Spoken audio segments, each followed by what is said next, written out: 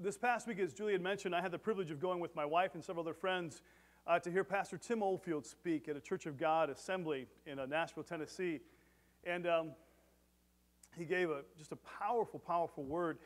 And I want to share a little bit of what he shared uh, that Wednesday with us because um, it's just, God is always connecting dots. And as we were talking in our class today, the whole conference was about the conversation of go. The church is called to go and make disciples of all nations. And um, we've been talking about the fact that God is stirring things here, and God is telling us as well to begin to go. And um, as, he was, as he was talking, though, he talked a lot about the fact that um, it is important to be able to go, but it's also very, very, very important to recognize that, that when we go, that when we go, it's really not us going, it's God going before us. Amen? And if we go underneath our own flesh, we'll always find calamity or failure somewhere along the way. And so his conversation was, as a seasoned pastor, to talk about being able to rest in God as you go, the ability to be able to rest in the presence of God as you go, so that you yourself do, do not get worn out. And it is, the, it is the conversation that I think God wants us to have today about how do we find rest in the Lord Jesus Christ in our going um, as we're doing what God were to call us to do and call us to accomplish for his kingdom and glory. So, Let's, if you don't mind, let's read a passage of scripture. We're going to read several today, but we're going to start with Psalm 127, verse 1, and then we're going to go in for a little bit of word of prayer, if you don't mind. One of my favorite passages, and as a pastor, it's one passage that I go back to all the time to, to be able to readjust or calibrate. And what I mean by that, do you know how it is that if you're heading down a certain road, because God's giving you direction and you know that's how you're supposed to go, but sometimes in the busyness of your doing, do you find that, that you start going a little bit different direction, but you don't mean to? You start putting things on you that you're not supposed to put on you. God has packed you in such a certain way and has called you to go do something, and we start doing that. But I don't know about you, but I have a tendency to pick up false responsibilities and false obligations. And before I get to where I'm called to go, I find myself almost exhausted. I'm wore out. My body wasn't meant to carry 600 pounds of, of luggage. It wasn't meant to do that. God had told me to just simply take these things, and those things being, God told me to take the Word of God. God told me to be led by the Spirit of God, so always follow the Spirit of God. God told me to take my family with me and those around me with me, but, but that was really about it. God didn't tell me to take any other false responsibilities with me. God didn't tell me to take the responsibility of making things work out with me. God didn't say, Ben, it's up to you to make sure it all works out, and if it fails, it's on you. God didn't say that to me, and He didn't say it to you either. Amen? But it's important that in our going that we recognize that, that sometimes we pick up excess baggage. We pick up things along the road that, that really will wear us down if we're not careful. And so this passage of Psalm 127, verse 1, puts everything in perspective to me as a pastor and as a father and as a child of God when I begin to feel overwhelmed in my life, and I begin to feel like, God, I'm either I'm just not doing enough, or Lord, I'm not hearing enough from you. Why isn't this seem to be working? The Lord reminds me of this passage. So if you would join me, Psalm 127, verse 1. A song of degrees from Solomon. It says this Except the Lord build the house, they labor in vain that built it. Except the Lord keep the city, the watchman walketh but in vain. I love, I love this passage, and I don't want to stay here too long, but I think it's important that we do, we do talk a little bit about this section. He says, Except the Lord build the house. So, how many of you know that God's building something? Amen? How many of you know that God's always building something? God is either in the process of tearing down in order to remodel, but his heart is to always rebuild and put things back together in such a way that, that obviously brings him glory. And inside the body of Christ, inside of you and I, God is always building something. And sometimes He's removing a brick here and a brick here that's cracked, but He's always building it back up um, that He would have a glorious house to dwell in. And so when God is building us, He's building us up for His presence to dwell inside of us. Amen? And it changes a little bit how you think about yourself. Because, see, if God is building my house, He's building it so that He would have a place to dwell which means that he deems that I am worthy for his glory to, to dwell within inside of me. And so therefore I must be a house that is, that is a house that is worthy of the presence of God. And that is only because of the blood of Jesus Christ. Amen. It's only because of his grace that, that we can acknowledge that we are a house where the Spirit of God dwells because He has called us worthy to dwell inside of us. Amen? And so, Father, I thank you, Lord, in Jesus' name, that I'm not in charge of building my house. God, you're going to build my house. I'm just in charge of being obedient when you tell me to be obedient. But, Father, ultimately, you are in control of the success of the way it looks, of how it's going to come out, of, of God, what you're doing in my life. Amen? And so, other passage of scripture in 1 Corinthians chapter 3, verses 6 through 7 says this I have planted, Apollos watered, but God gave the increase. So then neither is he that planteth anything, neither he that watereth, but God that giveth the increase. So if I am a house of God, am I, if I am a place where the God and the Spirit of God dwells, is it me that, that, that makes forth the manifestation of what God wants to do around me? Is it, is it, is it me that, that is, it, is it just I that does it, or is it that God is the one that blesses it and prospers it? It's God. It's, it's God, as I raise my children, as I teach my children. Lisa and I try to have devotions with our children. We're getting so busy, we have together, we come together on Thursday evenings and we share the Word of God and we talk about what God's doing in everybody's life. And, and Lisa and I try to share every day we have devotions. And what we're doing is this as a father, as a husband of the household, my job is to be able to allow my family and teach them how to come into the Word of God, to be able to read the Word of God and grow in the Word of God, to talk about it, to allow the Word of God to be active and living within my family. My job as a husband is to love my wife and not cheat on my wife. My job is to, to be a man of prayer, a man that, that loves the Word of God, that teaches the Word of God, that I get up and I work, I do the things that God has called me to do. But when it comes to the increase of my household, ultimately that belongs in the responsibility of God. Amen? And this is an important principle because if we don't, if we don't start with this, if we, now again, I know that we're all farmers in this community, and so there's a sense of work ethic. And I'm not talking about the opposite of work ethic. I'm not talking about that. What I'm talking about is the end result of the work ethic has got to be the, that God moved in that situation and He breathed in His timing and He blessed it and He brought glory to it. I could never do that. I could never do the supernatural, nor could you do the supernatural. I could never bring life into the world. Only God can bring life into the world. But we have to be, obviously, we have to be good stewards of the things around us, but ultimately, it is God that ignites life. Amen? It is God that does the miraculous. Do I do the miraculous when I pray over you to be healed? Is that the power of Ben Geyser? Never. That's heresy. It's only the power of God that brings healing.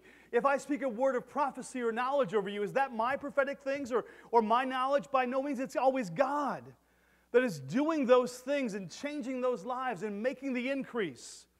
So, therefore, in the vessel of man, as the Word of God says, I would to never brag about what I have done in the kingdom. It would be, it would be false pride, it would be stupidity. Only God can do these things and make these changes in our life. Amen? Amen? And so we have to be so careful as the Word of God talks to us about this, that we have to be so careful of the vanity of I or the vanity of, of what we can do for the kingdom of God to make it work. We don't make anything work. God makes it all work because it's His kingdom.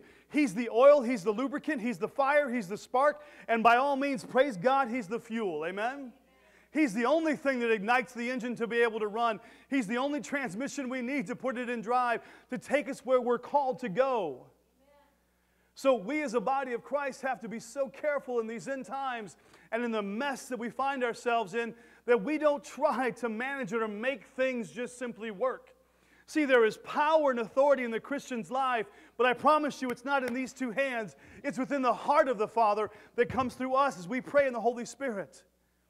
We have to understand that as the world is falling apart, if we do, do, do, do, we will eventually fall apart. See, the body was too frail. The body was only made to carry the glory of God. The body was never made to be the glory of God, this physical body I'm talking about. And so you and I have to just be so careful in the midst of our doing, in the midst of our growing, that, that we don't start stepping into false responsibilities or places that, that we think we have to do. And I think the Lord of God is saying to us that there is power in the places of rest.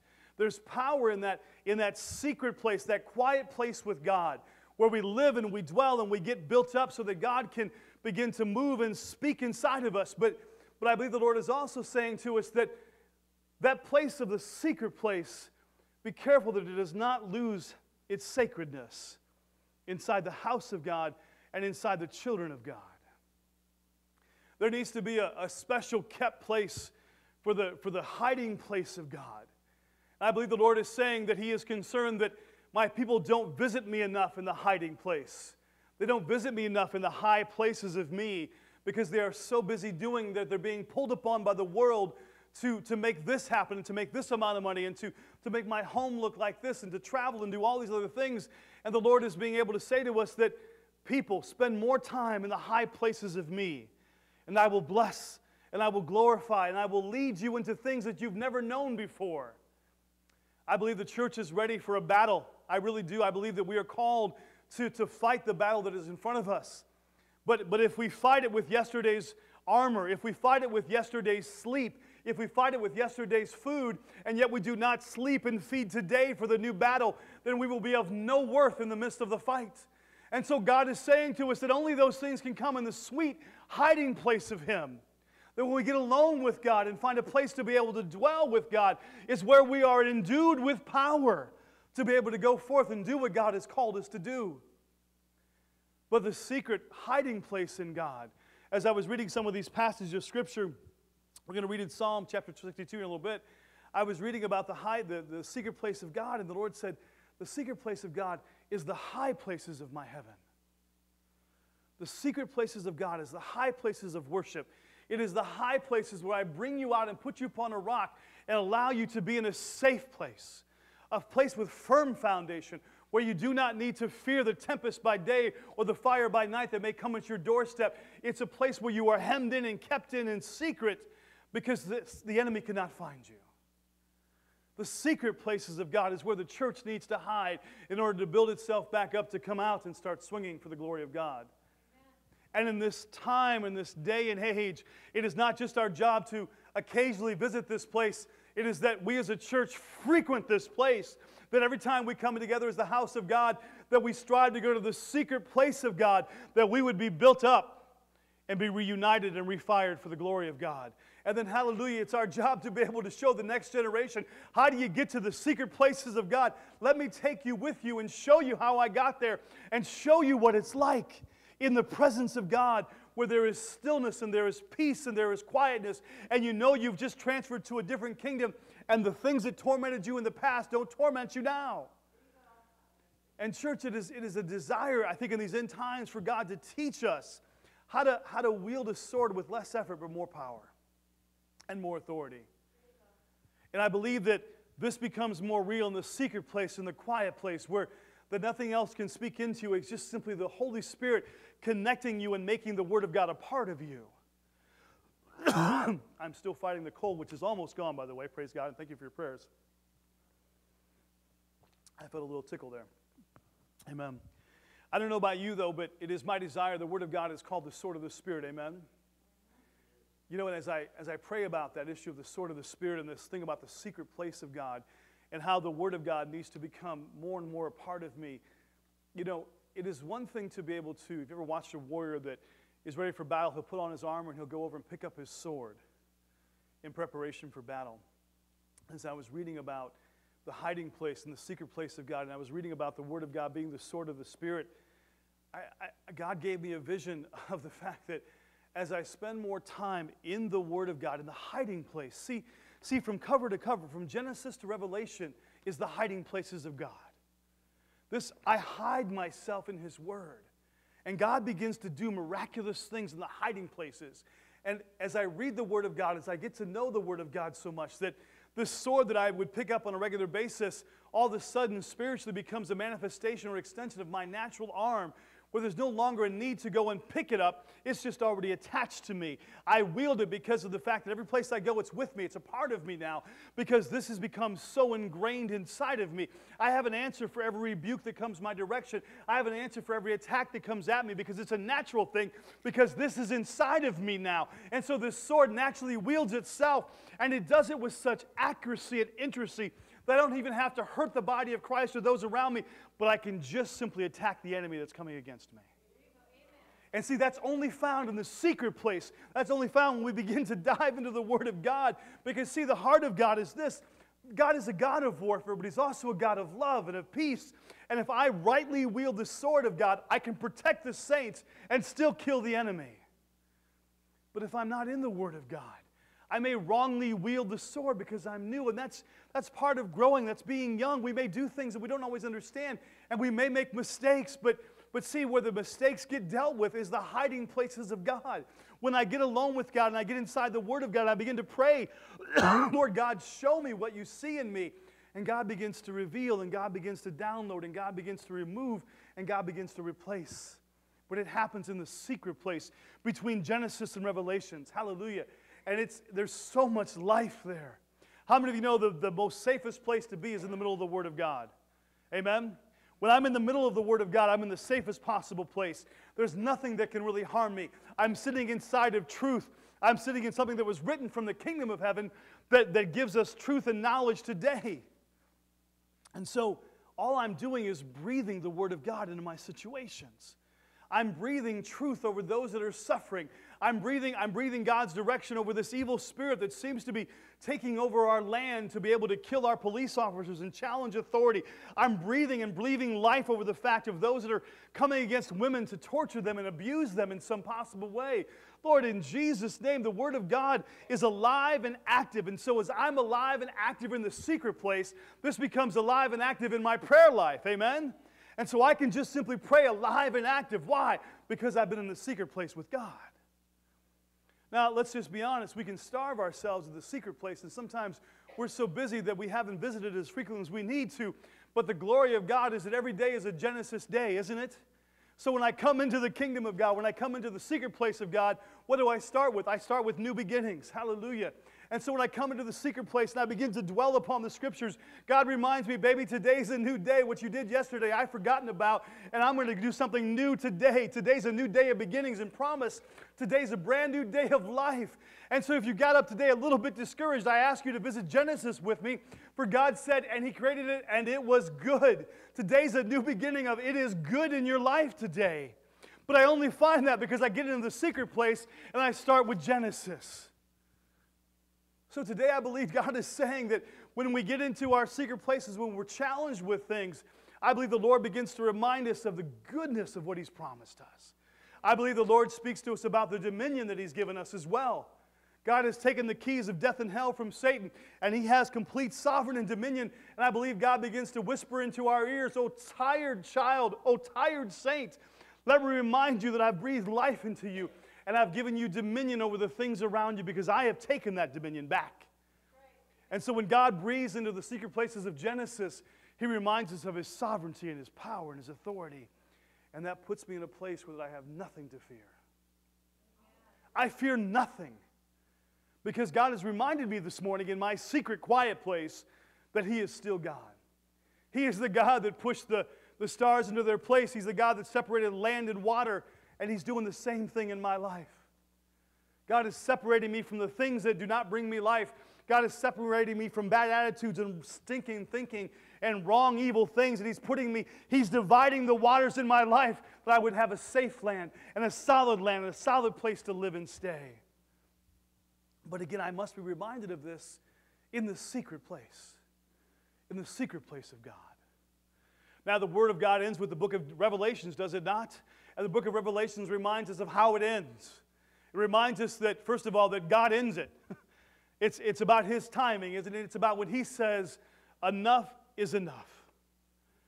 And this glorious trumpet begins to blow. And the dead in Christ will rise first. And all of the rest of the saints that are left over will be gathered up into heaven as well. And so I'm reminded when I get into the secret place that God controls my beginning also all the way to my end. And I have nothing to fear because when He blows the trumpet, He blows it because He's calling me up. God calls my name up because I have found your name written in the Lamb's Book of Life. So when the trumpet blows, the call is for you. Now, the beauty of what God has done, though, when we look at Revelation, is that it is not my job to jump to heaven. When the trumpet blows, He automatically pulls me up and I rise in His glory. And, saints, I want to be able to say that that is what God is still doing today. When He blows His trumpet in the secret place, we don't rise in our own strength. He calls us up to His glory. And God has called you up to His glory in something today. God has called you up to His glory in a situation you might be going through or something you may face today. But God reminds you of Revelation. And God says, When the trumpet blows, I will rise you up. And so I think about the fact that God, He knows my beginning from my end. And so He knows my beginning from my end, He certainly knows the dash marks in the middle. Amen? He knows that when I, when I was born and when I pass away, let, let the Lord of God, let His thumbprint be on the dash mark in between. And so if He knows all those things, then, then why in the world, Lord God, do I, do I strive to, to do so much in the flesh when I've experienced so much life in the Spirit of God? I don't know about you, but the day that was accomplished more things in my life was the day I bended the knee and accepted Jesus Christ as my Lord and Savior. God accomplished more things in that two minute prayer, probably, than any other time in my entire life more power was poured out, poured out, more things were covered from my past, and my destiny changed. In just a two minute bent knee prayer with God. If there is so much power in the moment of salvation, then why do we strive so much in the flesh? Because the only thing that was asked of my flesh in that moment was that it would die. That it would die, that it would lay itself in sacrifice to God. So, Lord God, why do we change the program? Why do we try to change the instructions? And I'm guilty of it more than anybody else probably in the room. I get so busy doing. But the Lord said, just, I'm, I'm more interested in your being than your doing. So, so we find the secret place. We find that the Lord God, we, we need to, the secret place is where, is where there's a smell of death. There's a, there's a smell of the flesh. There's a smell of the flesh being sacrificed and the Spirit of God coming to alive, coming alive in us. That's what happens in the secret place. The secret place is a place of sacrifice, whether we sacrifice our desires for the Lord's glory. And it happens between Genesis and Revelations. Amen. Let's continue on. Would you join me in Psalm chapter 62? We're going to read verses 1 through 12. We're doing okay this morning? Are we all right? All right, all right. I don't want to be, we're a little quiet. I'll make sure we're okay. So I'm good if you're good. So, again, this is a psalm from David, and I, I just love this passage. Um, it says this, starting in verse 1 of chapter 62 Truly, my soul waiteth from God, upon God. From him cometh my salvation.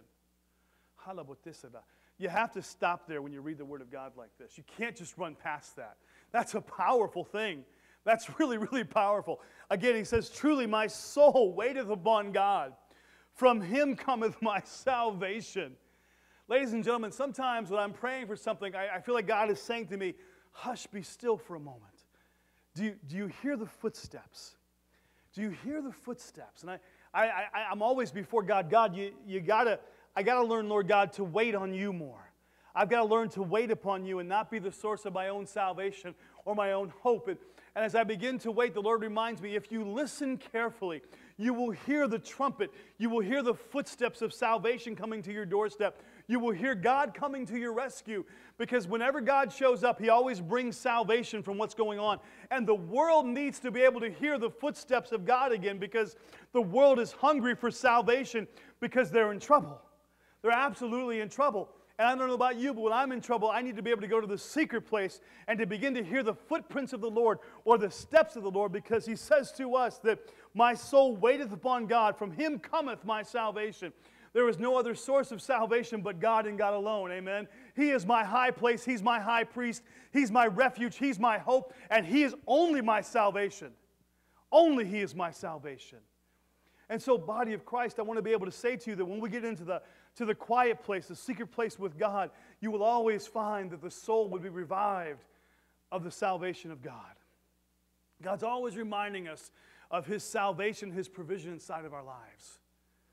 He, there's always a sense, there's always a sense of the power and the authority of the salvation of God. And you know, for those of you that are ministering to somebody around you that's really struggling with something, I, I have found so much that in ministering or counseling, this is a place that I often stop and I go back to because as they're telling me all their problems and all their woes, I constantly stop and say, So, have you accepted Jesus Christ as your Lord and Savior? Oh, I have, Pastor, but this is what the problem is. My mother in law is driving me insane, or I can't get along with my husband, or my kids. I always have to stop and, and be able to say, you're, you're full of so much anxiety, and I appreciate that so much, but, but can we come back to something? So, you are a saved child of God. And they would say, Well, yes, yes, Pastor, I, I'm saved. I'm saved. So why do you ask that, Pastor? I believe that God wants us just to simply sit here for a little bit and get into prayer and wait upon the word of salvation to come to us for what you have need of. See, it's, it's so important that we teach the body of Christ how to wait upon the word of salvation that changes the soul that he wants to bring to us. We, we have to learn how to wait and discern in the Spirit. God, these are the situations around us, but Lord, what really is the problem? These are the symptoms, but what really is the disease, oh Lord God? What really is the disease? And almost nine times out of ten, it comes back to the fact of the, of the issue that, Lord God, we're struggling with your sovereignty in my life. God, I'm so stressed about all of this stuff, and I'm beginning to realize, God, that it feels like it's out of control. So, Father, Lord God, if you would help me in this, and the Lord says, Peace be still, my child. How many times does God say, Peace be still? But in the midst of our busyness, we're running past the peace be still to try to strive and find peace in something else. But the Lord is saying, Peace be still, that He would remind us. Because, see, the word salvation has authority in it, it has power, it has strength in it, it has redemption power to it. So, when the Lord God says, Wait upon my salvation, what He's really saying to us is, Let me remind you of what I've done in your life. That you would have peace about where I have you now. Because the enemy would like to rob us of all of our peace. But the voice and the word of salvation it brings with it peace because it brings with it absolute, Sodom, um, absolute authority in it. And so the word salvation, he says to us. Let's read on. Verse 2 He only is my rock and my salvation, He is my defense. I shall not be greatly moved. So He only is my rock. Uh, just, I just, He only is my rock. He only is my firm foundation. He only is who I stand in and stand on when the waters begin to rise around me. He only is the only unmovable thing in my life that I can absolutely trust because He's my rock. And He's such a rock that He will not be moved by circumstances or by trials or by the lies of others about my life. He is so big that He will not be, he will not be moved on my behalf. He is a place of firm foundation that we stand and do not have to worry or fear about those things raging around us. At times in my life, when I think about being overwhelmed and flooded by circumstances and situation, I think sometimes about this passage of scripture where it says that He is my rock. He is my rock. And I begin to get the visual that sometimes waves may crash on the sides of the rocks, but it never overtakes the top of the rock. I, I, I never have to fear that He'll allow the waves to become too high that they will never overtake me. Because, see, as I know the Word of God, it says that He has authority over the winds and the waves. And He says, Peace be still. So, in the place that He's positioned me on my rock, it's a place of safety. I don't have to worry about it. I don't have to be in fear of it because there is, there's just strength in the rock. The world has built so many things upon sinking sand. And we have to be careful that we don't build our level of faith and belief in Jesus Christ on sinking sand that we don't build it on what we see or what we feel we need to see, but upon the truth found up in the Word of God. I don't build my salvation, God, and my belief and my trust in you based on what I believe I have to see. I believe it, Lord God, based on what you have already done and what you're saying still today. Amen? And, church, as we begin to usher through a time of season, a season of change, where God begins to position us to do more ministry it is so important that we recognize and often check our foundation, that our foundation is firm, it's built upon the rock. We do that within our families. We do that within our communities. We do that within our job. God, am I building my whole life upon the rock of Jesus Christ? Or am I trying to build on something that's a little bit quicker, maybe? How many of you know it's easier to dig sand than it is to dig a rock? It's easier to dig out a footer in sand because it's just easier than have to carve out a platform for a footer upon rock. But the easy is never, never the most solid way to go. And so, church, in our doing, in our, in our pursuing what God wants us to do in the secret place, I believe He reminds us that sometimes it just takes time for God to carve the foundation for what He's building upon our life, and we can't get too anxious or ahead of that. But just know that He's chiseling, know that He's building, know that He's changing, know that He's got a design, know that He's got a plan for your life, and that plan will come to pass. I'm reminded of that in this secret place because I see what he did for Isaiah. I see what he did for John and Mark and Peter and Luke. I see what he did for John the Baptist. I saw his faithfulness in, in, in Isaiah all over the place. And if he'll do it for them, he'll do it for me. He's no respecter of persons. So, church, I want to remind you today, I, I want to say to somebody today, I just feel this in my spirit, that you, you need to sometimes not just stand on the rock, but sometimes you need to sit on the rock. What I'm saying with that is this is that sometimes you need to, you need to be able to find comfort and peace in the midst of God carving out a platform for your life and what He wants to do. He's going to be faithful to finish that. But He may have you in a place where He's just simply chiseling the foundation. But it's okay because when the foundation is done being chiseled, He'll tell you when it's time and He'll start laying blocks and He'll start building something. But sometimes the foundation is the hardest place to be, isn't it? When God has to chisel things away that, that, that are not of Him, that, that get us off balance. And sometimes we may be to a place, some of you may be to a place where God's been chiseling for a long time, and there's just a couple pebbles left over that God is saying, I got to get rid of some of this stuff still. I love you, but we've, we've got to remove this still. Some, some may be at the place of just beginnings where God is and then you think about how a, a sculptor would sculpt something. When he first starts out, he takes big blows, doesn't he? Boom, knocks off big chunks of things. That's how it happened in my life. God knocked off all kinds of stuff. God knocked off my language. God took, God took junk from me, bad mouth, bad attitudes. All this, just God, just huge blows in my life. But God is still chiseling the finite stuff in me, isn't He? And sometimes that takes more detail and time because He doesn't want to hurt anything. He doesn't want to destroy anything. See, he's made something beautiful here that he's really happy with, but yet he may be working on another part of the body, another part of the face, and so he's delicate to be able to chisel with this. And if we try to rush the, the master maker, all of a sudden all, things start falling off that shouldn't fall off. All of a sudden we're like, God, can you finish this a little bit faster? And what we're saying is, God, swing quicker because I don't want to have any more patience for this situation. But God is saying to you and I sometimes, I'm doing the detailed work. Just be patient with me. I'm doing the intricate work so that when people get close to you, they see a greater depth of beauty. You know, Mount Rushmore, I've never been to Mount Rushmore, but I, I, I, it's wonderful. I've seen tons of pictures of it. Um, but I have heard, though, that as you get closer to Mount Rushmore and take pictures of Mount Rushmore, the details are not very good. It's just all big swiping. They just went up there and carved noses and eyes and all that kind of stuff, but there's really no finite detail to it. And as I think about I think about you and I, and I think about the fact that God desires for us to have intimate relationships. And, and, and when God is doing something inside of a church like this, I believe that He's trying to carve us off so that all the beauty marks are in the right place. All the, all the features are just like they're supposed to be.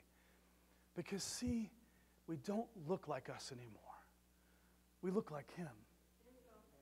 And that's sometimes the problem inside the church, is that we have an expectation that demands that it looks a little bit like us. And God says, no, that's not going to work. That's not going to work. Didn't work with Samson, did it? It didn't work with so many people we find in the Word of God. It can't look a little bit like you. It's got to look just like me. And so, so in the hiding places, sometimes God is doing the deep chiseling and removing, removing the finite pieces of us because he wants us to look less like us and so much more like him. And let us be honest, there are times that in our own life we bring some of the world and we bring chunks in the, of the world with us and, and we say, God, I want you to work this into your masterpiece. Can you do that, please? And the Lord says lovingly to us, That's not of me. I can't, no, no, I can't, I can't use that. But I will use you. I will. I have, I have chosen, I have chosen you. I, I have searched the world over to choose such a stone as you to be able to cover, I mean, to be able to carve out a unique piece of artwork that will be beautiful. But I've got to get down past the surface to the deep places where the veins of the stones run and all the beauty of what I've put inside of you exist. But if you force me to stay on the surface, if you force me to stay on the surface, it will be a blurred image of who I really am. And God doesn't do blurred images. Glory be to God. He doesn't do blurred images. He brings forth detailed, beautiful pieces of art. And so in our own life, we must recognize that if we, if we strive too much on our own physical ways, what we're trying to do is we're trying to add so much of us to the sculpture of what God is, is doing. And God is declaring today that I'm trying to clear away the, the rubble, not add the rubble to the sculpture. And that's the beauty. That's the beauty of the heart of our Father today. And I believe that's, I think that's where He wants us to end today, is, is, on, this, is on this place where that God has, God has brought you into this secret place to be able to do the finite carvings in your life. When I was first saved, I was saved at a Christian camp in um, um, up in Hillsdale, Michigan. I was up there, and I've told many of you my story that you know I was not a kid that was. My parents were in church, all kinds of stuff, um, but I was not a kid that was welcome in church. Our church did not have a heart really for the for the youth whatsoever. Um, I wasn't a bad kid. I just I just wasn't the kind of kid they really wanted me to have in their church. And so even though my mother and father were deeply involved, my dad was not saved for a long time, but I wasn't, I didn't fit. I just didn't fit, bottom line. And I remember going to this Christian camp because a lot of my friends were going to go. And there was probably a girl that went, who knows, but I went anyway. So, but I remember going to this Christian camp, and I, I was this big, tough, I was a big kid. I was strong. I was a good athlete in high school, all kinds of stuff. I was so full of myself, it was ridiculous. I mean, I was just so full of myself. And I really thought that I had it all figured out. And when I think about this text we're talking about today of God sculpting, I remember, I remember in the midst of that service, a guy named Kent Fisher was preaching the salvation message. It was almost on the last night. It was the, we got there, we got there Sunday, went home Friday, so it would have been a Thursday, Wednesday evening service. I'm sorry, Wednesday evening service. And he was, he was preaching, he was preaching about the God in you. and, and I, I just, I thought, what's this about? And, and, and he talked about how that we build false gods because because we, we, we worship some things in our life. Maybe we worship our physical athletics, or we worship how intelligent we are. We worship how good we look, we worship our parents, we worship our grandparents' religion, whatever it might be. But he, he was talking about the little gods in our life and, and how that God wants to have us throw those things out, that we could make room for the one true God. And I, I remember listening to this guy preach, and I thought, oh, this is interesting. And, and, and, and I thought, I don't want anything to do with this. And you know, I was doing something in my Bible, and all of a sudden, man, God started just getting a hold of me. And He started talking about how that, Ben, you've built some idols in your life out of fear, that you continue to worship to them for hope. And God is saying, You'll never, is it working? I feel like God was asking me a question Is it working? How's it working for you, Ben? And I began to realize, wow, Lord, don't, this is, this is intimate. Don't, God, what are you doing? This, don't meddle like this. Because, see, I had what I thought was reputation with my friends and, and those that knew me back at home. And I thought, you know, we're not doing this. I'm not. All of a sudden, God started reading my mail in a sense and revealing some deep, deep things in me. And, and, and as He began to do the altar call, He asked those to come forward. And I'm like, let's just do this here, God. I believe you're speaking, but we'll just settle this here, okay? Is it okay? Can we just stay here, God? And the evangelist kept speaking about the issue to, of the need of the need to recognize God before men which is what clears the storehouse of all the false gods in your life. And I thought, oh, there's no other way to do this, is there? Then I have to go down front, don't I? And so I'm looking at all the people that I'm with. I think I was dating some girl at the time, and I'm, I'm like, okay, I'll do it, but I'll take the side aisle and go down to the very end over here where hardly anybody's at in the corner, God. That'll be all right, won't it? And sure enough, I went down there and went to the side, and altar was lying with other kids, and they were being prayed for. And I'm like, okay, God, we can do this. And so he was leading everybody through a corporate prayer of salvation. So I'm doing the corporate prayer of salvation. Father, I repent for my sins, and I thank you for sending Jesus Christ to die for my sins. I believe is the Son of God. Please come into my life and become Lord of my life. And I felt changed. I felt different. I thought, wow, amen, that feels good. And I thought, oh, this is good. And I look around and I can probably sneak back to my seat. And so I begin to do that. And out of the corner of my eye, this big, huge guy comes down, one of the camp counselors, and said, Ben, I've been expecting you. And I thought, oh, okay, here we go. And, and he goes, I've been expecting you all week to come down. I'm so glad you made your choice to come down for salvation. And uh, And his name was Doug. And I'm like, uh, Doug, I, I, yeah, it's great, man. I'm just, I, I really believe God's. And he said, wait a minute. so I was trying to put this situation in a box so I could comfortably get back to my seat as soon as possible. And, and Doug began to, he said, Can I just pray with you? I'm like, Yeah, that's, that sounds great, Doug. I said, I already prayed the prayer of salvation. She goes, Oh, I, I know you have. I just want to pray with you a little bit. And all of a sudden, it was almost like Doug stepped out of the room and God stepped into the sanctuary and began to pray over my salvation. And God got intimate. God got personal. God got busy with me. And God started praying and praying over me about things in my life. And what was happening in my life was this God was taking this big, huge chisel and He was cutting away pride.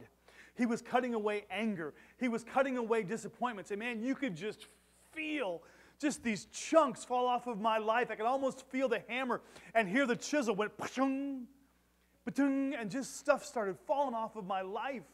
And I couldn't believe it. And I thought, Lord God, why are you doing this in front of everybody? What is the deal with this? God, why would you do this out in the open like that? But yet I felt safe. But yet I was also afraid because, see, I was still surrendering my own life to the Lord Jesus Christ. I had prayed the prayer of salvation, but what happening was hap- what happened then was starting to happen now in the natural and the physical. And God began to take off chunks of my life, chunks of my life, and exposed it in a sense to the 150 kids were at camp with me. And I was sobbing and I was crying and, and I was asking, Lord, wow, this is wonderful. And eventually it started to leave me this fear, but everybody thought. But as we were done, I get back up and I begin to, to go back to my seat. I, I begin to pass people I'd met all week and, and they were high fiving me and oh, praise the God. Look what He's done in your life. Praise God. And I get back to my seat and I'm like, wow, Lord, what is this? What have you done? Wow. How do I feel so free but so heavy at the same time? This has to be a God thing. Because, see, my heart was so heavy with love for the first time, and with truth and with hope. But yet, the burden of inferiority and fear and worry and sin and hell was just chiseled off of my life. So I get back to my seat and I begin to sit there, and friends are coming up and they're congratulating me, and, uh, and people are saying, you know, it was so funny. You don't know how long people have been praying for you until that moment, but people were like, man, I've been praying for you for so long, Ben. Praise God. I'm like, well, I must have been a mess. But, you know, they kept encouraging me. Well, it's just so great to have you, you know, in the kingdom of Jesus Christ and da da da da.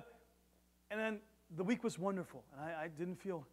But one of the most profound things said to me at the end of that week was when Doug and I were leaving.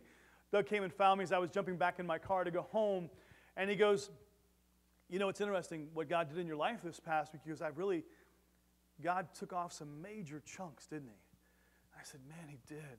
He did, man." And he goes, "Well, do me a favor when you leave, make sure that you didn't pack those in your bag when you leave. I thought, wow. And he goes, Do me a favor. When you go home, back to your church, don't let any of them try to reattach that stuff to you. Because religion will. Religion will try to reattach failure. Religion will try to reattach, they'll take away grace and try to reattach performance. And so God just reminded me don't let anything of those things reattach themselves to you. And Faith Assembly, that's the word of God for us today. I found my hiding place between Genesis and Revelation where I found Jesus and I found salvation. And so, therefore, in my going, I recognize that it is not I that goes, but it is God that goes through me. And I need to be in a constant place of rest upon the chiseler's platform because he's still chiseling away in my own life the finer details so that as we draw closer and closer in relationships, you see less of me, but you see a lot more of him. And eventually, when the trumpet blows, you'll see all of it.